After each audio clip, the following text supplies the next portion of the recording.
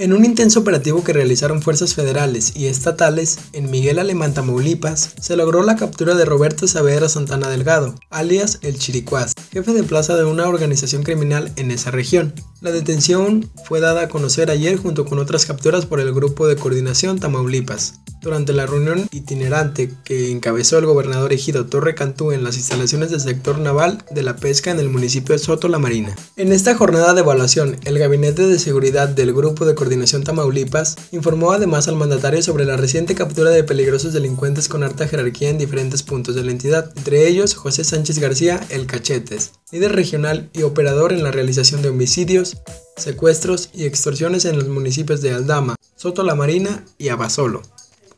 Hola amigo, muchas gracias por ver este video. Si te gustó, por favor regálame tu manita arriba, compártelo en las redes sociales y déjame tu comentario, que es muy importante tu opinión. Si tienes cuenta aquí en YouTube, no olvides suscribirte para que te lleguen mis videos hasta tu bandeja de correo electrónico automáticamente y no te pierdas ningún video de raza de la web.